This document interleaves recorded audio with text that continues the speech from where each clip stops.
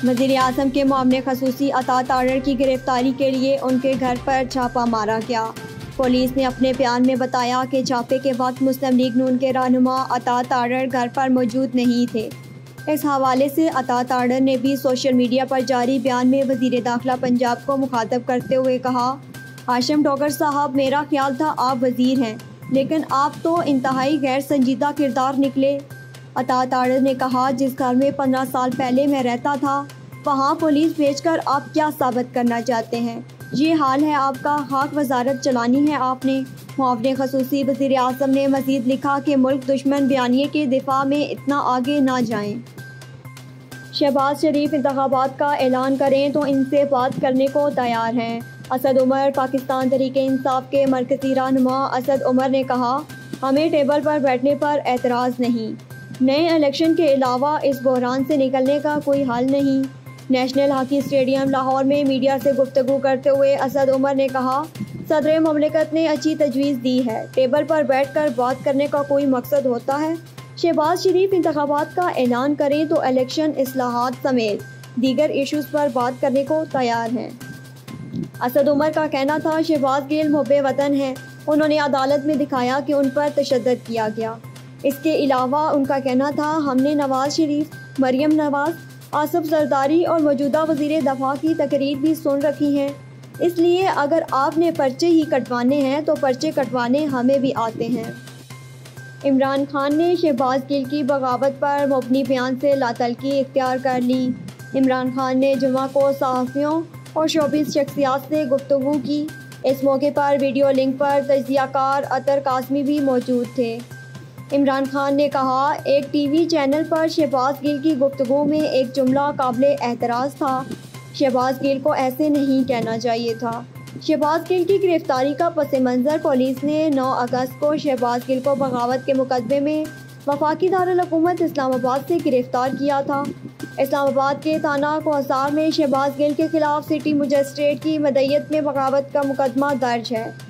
F I R के मतन के मुताबिक शहबाज गिल ने टी वी चैनल पर अल्फाज साथियों के साथ मिलकर एक एजेंडे की तकमील के लिए कहे। शहबाज गिल के बयान और तकरीर का मकसद फ़ौज में बगावत फैलाना और साजिश करना था। एफ़ आई आर में कहा गया है, बयान और तकरीर का मकसद आवाम में फ़ौज के ख़िलाफ़ नफरत फैलाना और साजिश करना था। शहबाज गिल ने कोशिश की कि फ़ौज के मुख्तलिफ़ ग्रोह बन जाएँ। उनका मकसद फौजी जवानों को अपने अफसरान का हुक्म न मानने की तरगीब देना था। शहबाज गिल ने मुल्क में इंतशार फैलाने और फौज को कमज़ोर और तकसीम करने के बयान दिए।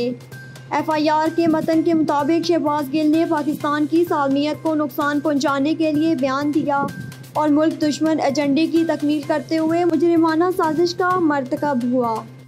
कुछ अफराद जो पहले अफ़गानिस्तान में थे, सवाद के पहाड़ी इलाकों में मौजूद हैं। खैबर पख्तूनख्वा पुलिस के मुताबिक सवात में अक्सरियत पसंदों की मौजूदगी से मुतल सोशल मीडिया पर जेर गर्दश वीडियो से बाखबर हैं। पुलिस का कहना है सवात के कुछ अफराद जो पहले अफ़गानिस्तान में थे, अब सवात के दूर दराज पहाड़ी इलाकों में मौजूद हैं, जबकि सवात मुकम्मल तौर पर सिविल इंतज़ामिया के कंट्रोल में है। खैबर पख्तूनख्वा पुलिस के मुताबिक अवाम के इस खदशे से वाकिफ़ हैं कि सवात 2008 से 2009 के दौर में वापस आ सकता है। कानून नाफज करने वाले इदारे किसी भी मुहिम जोई का जवाब देने के लिए तैयार हैं। खैबर पख्तूनख्वा पुलिस का कहना है, सवाद के पुरअमन माशरे में किसी भी दहशत गर्दी के लिए कोई जगह नहीं है। सवाद में अमन को यकीनी बनाने के लिए तमाम मुमकिन इकदाम करेंगे। पाकिस्तान मुस्लिम लीग नून के रहनुमा तलाल चौधरी ने शिकवा किया कि पाकिस्तान तरीके इंसाफ के किसी आदमी को गिरफ्तारी होती है। तो रात बारह बजे तक इसकी ज़मानत हो जाती है।